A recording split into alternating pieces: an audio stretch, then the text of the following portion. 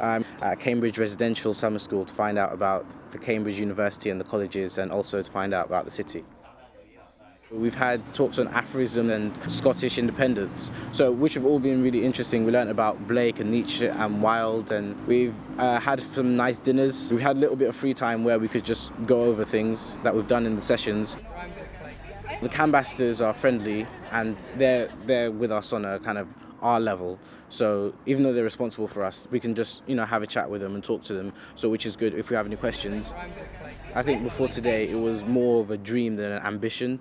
So I think this is something that has made me realise that this is definitely something to work for.